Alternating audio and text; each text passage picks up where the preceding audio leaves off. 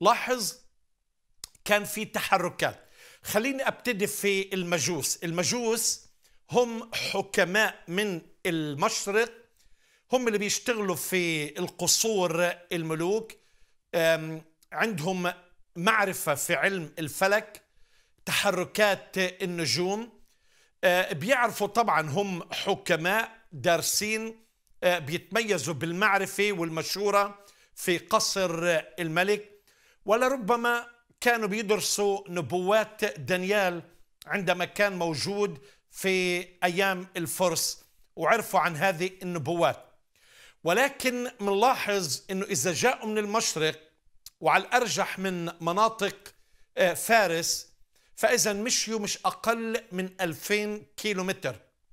فإذا كان في نجم أو نجوم عم تتحرك وعم بيتبعوا هذا النجم.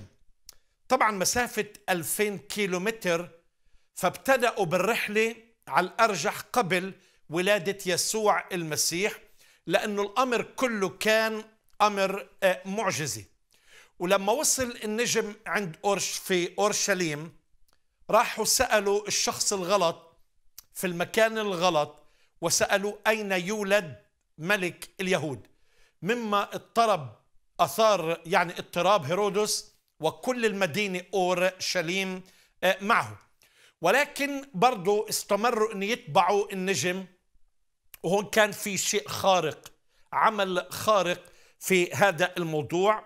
النجم مكتوب وإذا النجم الذي رأوه في المشرق يتقدمهم حتى جاء ووقف فوق حيث كان الصبي.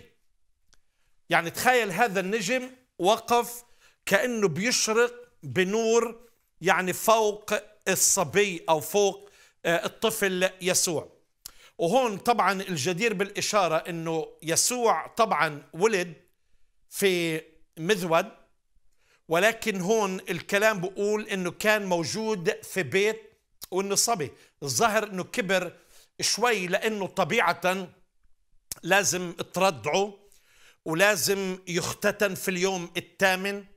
ولازم يمشوا على حسب الطهارة شريعة الطهارة الطقسية بحسب طبعا عادات اليهود من الكتاب المقدس.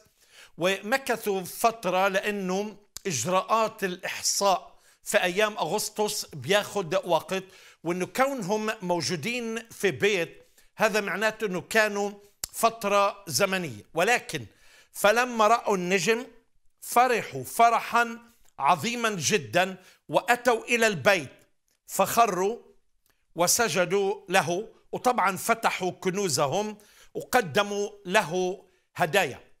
هذا الموكب الجليل يعني المهيب أثار أورشليم لأنه مجموعة كبيرة من المجوس اللي دخلت أورشليم قافلة كبيرة وطبعا كملت القافلة إلى حيث وجد الصبي.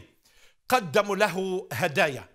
ثم أحبائي بنقرأ عن ظهورات الملاك الملاك جبرائيل. وبنقرأ عن جوقة الملائكة جمهور من الجند السماوي مسبحين الله وقائلين المجد لله في الأعالي وعلى الأرض السلام وبالناس المسرة ابقوا معي سأواصل حديثي بعد قليل.